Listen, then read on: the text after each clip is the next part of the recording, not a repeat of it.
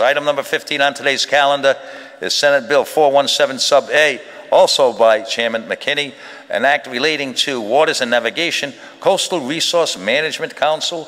Mr. Chairman. Thank you, Mr. President. Uh, given the length of the calendar, I'll keep my remarks as short as I can. This bill will clarify Rhode Islanders' uh, constitutional rights to access the shore. As you know, our Rhode Island Constitution provides that every Rhode Island citizen is entitled to enjoy the privileges of the shore, uh, and this bill will determine that uh, the rights uh, therein can be exercised up to 10 feet landward of the recognizable high tide line, which is usual as is known as the rack line or the seaweed line. Uh, the bill also provides any number of protections, including uh, improved protection against liability by any nearby homeowners. Uh, it, it clarifies where one cannot go on the shore. You can't go up on seawalls or lawns uh, uh, and, and, that type of thing. Uh, the importance of this act is that there has not been previous action by the General Assembly to determine exactly where the shore privileges can be accessed and enjoyed. Uh, and so there was a 1982 case that made that attempt. Uh, unfortunately, their uh, effort has turned out to be essentially unworkable. And so at the time, 40 years ago, they suggested that they were acting in the absence of action being taken by the General Assembly. We're a little bit later than perhaps had been planned, but we are finally taking action. Uh, the, uh, the act also has been improved. The bill has been improved from what we originally provided by the House, in that we have included provisions that would make sure that signage on the shore, which is frequently uh, not legal, is, is indeed correct, and so there will be work with the Attorney General's office to get that accomplished. And it also makes sure that, with respect to uh, education of the public and property owners, uh, the uh, uh CRMC will work to make sure that that is better so that people do understand exactly what their rights and privileges are. Uh, with all that said, this is a good bill, and I move passage. Chairman McKenney moves passage of the act, seconded by Senator Euer, Senator Felag, Senator Sosnowski, uh, Senator Mario, uh, Senator Mack, Senator Gu, Senator Lawson, Senator Coleman, Senator Cano, uh, Senator Burke, Senator Bell, uh, Senator LaMountain, uh, Senator Lauria, uh, Senator Ujifusa, Senator Murray, Senator Casada, and Senator Valverde. Discussion on the act. Senator Gu. Thank you, Mr. President. I'll keep my remarks brief. Uh, I want to thank Chairman McKenney as well as the Mr. President and Leah Pearson for bringing this vote, um, bringing this bill to a vote. Um, this bill means a lot to our shoreline communities and really any Rhode Islander who's trying to access our state's 400 miles of shoreline.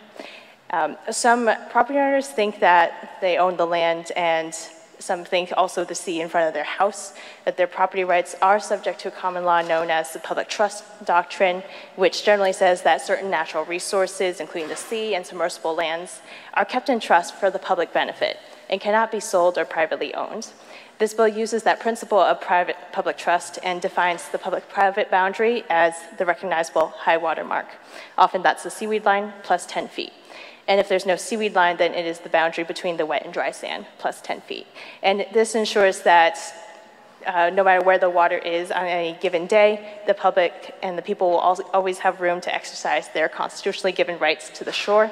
I think this bill is a really positive first step, and uh, once we pass it, I think we need to continue public education about the issue, and I appreciate Chairman McKenney's also including public education and outreach to make sure that the public and property owners understand the bill and um, are able to exercise their rights. Uh, thank you, Senator Gu. Further discussion, Senator Zurier. Thank you, Mr. President.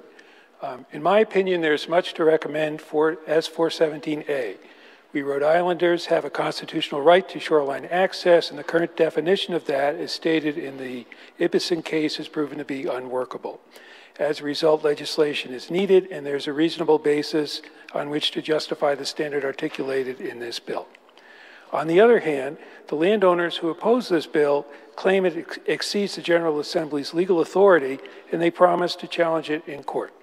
To put it another way, the issues involved in this bill will take us into legally uncharted waters, and it is quite possible that the litigation that results will prove to be no day at the beach.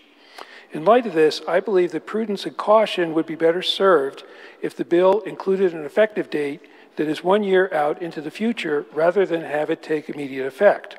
That would allow the parties a window of time in which to seek and hopefully obtain judicial guidance concerning the proper balance between the public's right to shoreline access and the property rights of the owners of land bordering on the ocean.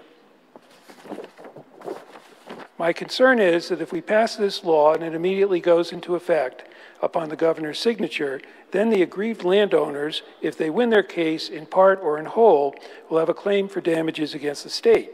In contrast, if the court resolves the case before the law goes into effect and the outcome is not what we desire, there will be no claim for damages. It also is possible that we will end up in a similar posture under the current structure of the bill.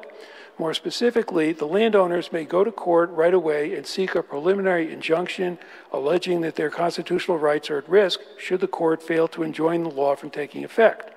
If the court grants such an injunction, then the operation of the law may be suspended until it is resolved in the courts.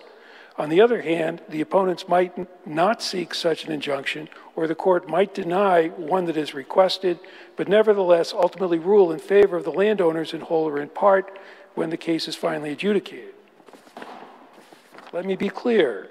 I support the principles of this bill and have for a long time. Back in 1990, when I was an Assistant Attorney General um, in the Environmental Protection Division of the state of Massachusetts, I filed this amicus brief in support of the issue of shoreline access rights in the Bay State.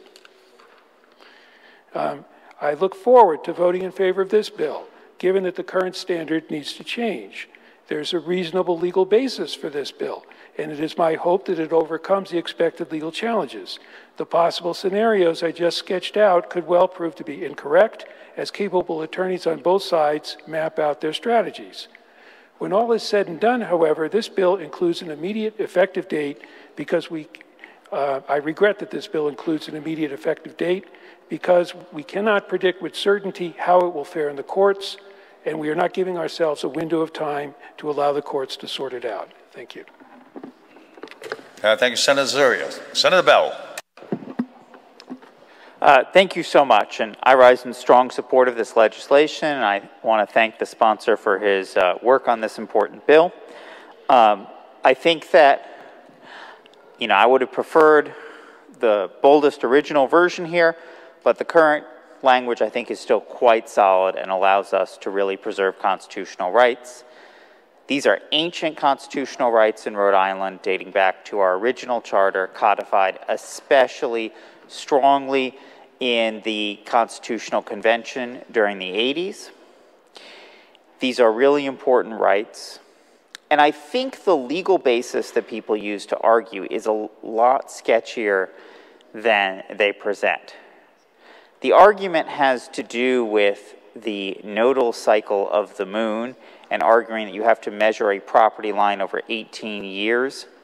And so, therefore, it's too time intensive. And so, people rely on a property line that was measured many, many years ago, but with coastal erosion and mild sea level rise, uh, oftentimes that property line uh, is underwater when based on this old mean high tide line. The legal basis is extremely uh, weak, uh, especially in contrast with Rhode Island's basic uh, constitutional rights. I think that this is legally sound. I think it should stand up. I certainly hope it stands. I think the legal basis is robust. And I also think it's going to be a good thing to have it come into effect initially because I think some people's fears of the vast dangers that are going to happen are overblown, and actually having it come into effect may demonstrate to some people that it's actually not quite as bad as they're fearing to be able to have a few people walk, walking along what had been their private corner of the beach. Uh, thank you, Senator Bell. Further discussion? Hearing none, the clerk will please unlock the machine.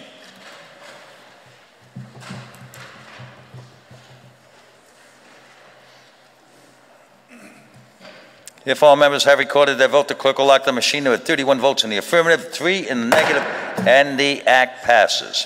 Item number 18, Senate Bill 729 by Senator Mack, an act relating to state affairs and government, lead hazard mitigation. Senator Mack. Thank you, Mr. President. The purpose of this bill is to provide tenants with um, legal recourse if they have uh, lead inside their units.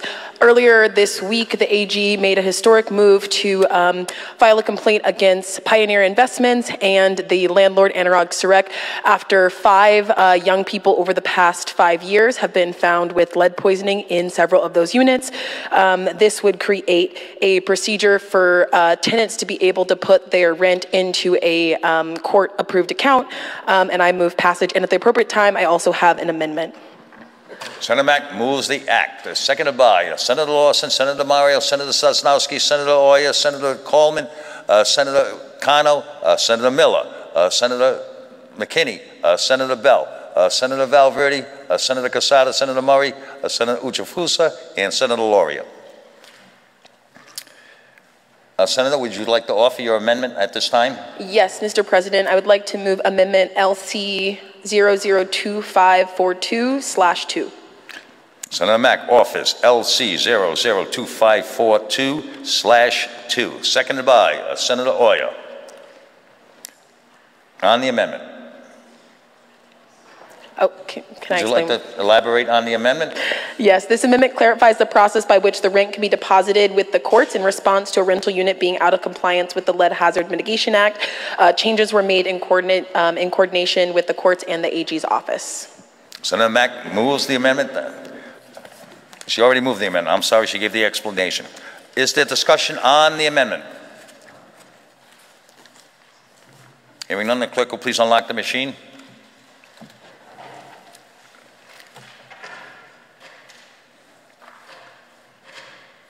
If all members have cast their vote on the amendment, the clerk will lock the machine with 30 votes in the affirmative, three in the negative, and the amendment passes.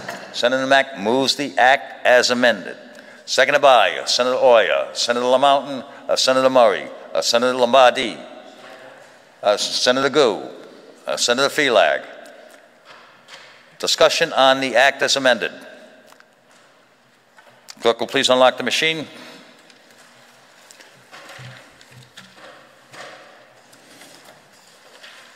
If all members have recorded their vote, the clerk will lock the machine with 29 votes in the affirmative, five in the negative, and the act as amended passes. Item number 19 is by Senator Lawson, Senate Bill 739, an act relating to state affairs and government, lead hazard mitigation. Senator Lawson. Thank you, Mr. President. Members of the Senate, this bill too is put in at the request of the Attorney General's office. It would allow for a property owner who fails to comply with lead hazard mitigation provisions to be subject to damages and reasonable attorney's fees, and I move passage. Senator Lawson moves passage. Seconded by uh, Senator Euer, Senator Coleman, Senator Lombardi, uh, Senator Mack, uh, Senator DiMario, uh, Senator Murray, Senator Valverde, Senator Lauria, Senator Ujifusa, Senator Bell, uh, Senator Burke, uh, Senator McKenney, and Senator Cano. There's a discussion on the act before us. Clerk will please unlock the machine.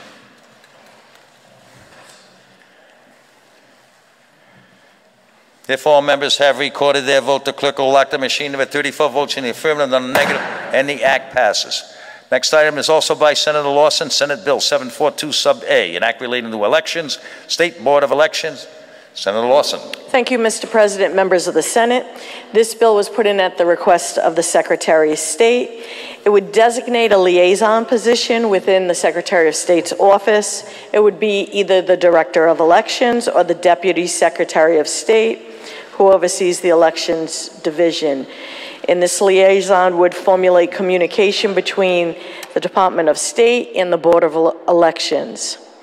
It would add accessible voting devices to the equipment maintained by the Secretary of State, and I move passage. Senator Lawson moves passage, seconded by Senator Burke, Senator Euer, Senator Cano, Senator Lauria, Senator LaMountain, uh, Senator Zurier, uh, Senator Lombardi, and Senator DiMario.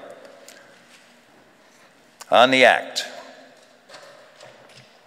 Clerk will please unlock the machine.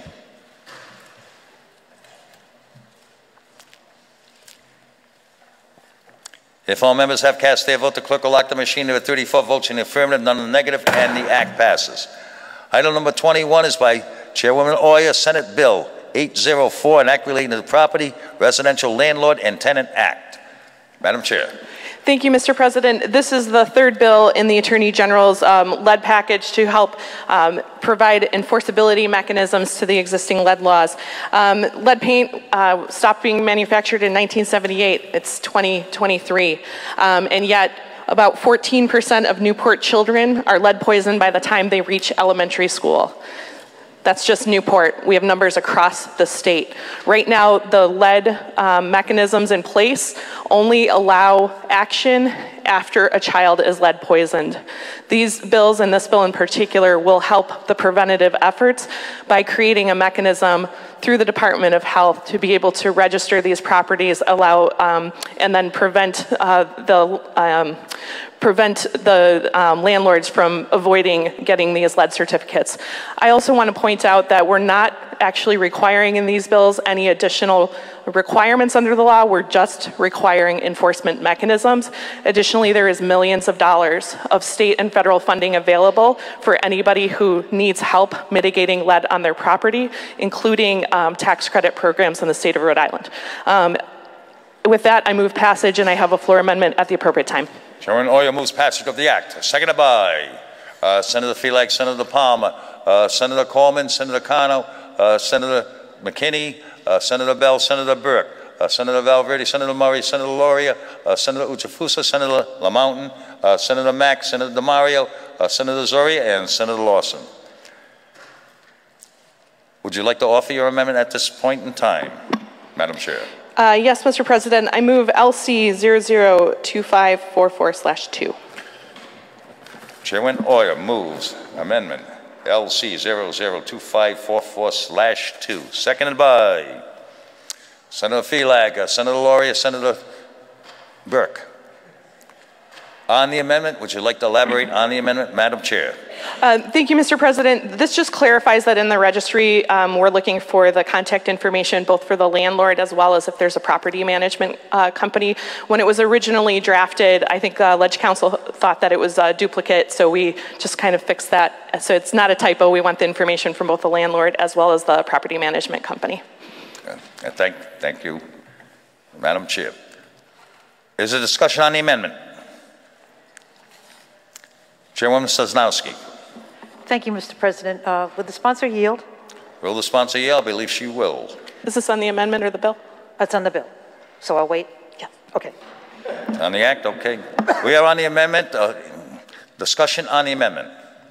Hearing none, the clerk, please unlock the machine.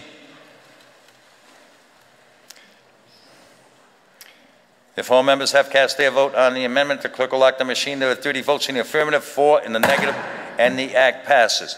Senator Euer moves the act as amended. Seconded by uh, Senator Palmer, Senator Bell, Senator LaMountain. Senator Sosnowski. Now, if the, uh, thank you, Mr. President, uh, if the chair would yield. I just had a couple of questions. In the legislation, it says there are some um, exemptions to this. Um, I was just wondering if you could clarify the exemptions to the legislation, and also how would um, a landlord, uh, for instance, know that they're supposed to be complying with this registry? Um, thank you for those questions. So right now, um, there is currently a lead registry that exists in the Department of Health, which um, captures almost all of this information. However, the way that the registry works is incredibly unwieldy, and it's not searchable by property address, it's not searchable. So this is really just um, intended to provide um, kind of a consolidated enforcement mechanism for um, different areas of law. So there's also another law that requires um, property owners, landlords to give contact information to the tenants. However, that's not necessarily the information that goes into the lead certificate database that, that currently exists. So the exemptions exist because um, this doesn't apply to properties after. The, the lead paint was um, 1978. So, thank you. Thank you. Uh, thank you, Senator Sosnowski. Senator Bell. Uh, I just want to quickly uh, thank uh, the sponsor for all of her work on this legislation. I think uh, it's gotten to a really uh, great place. It's made a lot of improvements, and I think it'll really help address a really serious public policy problem in our state. Thank you, Senator Bell. Further discussion on the act as amended. Clerk will please unlock the machine.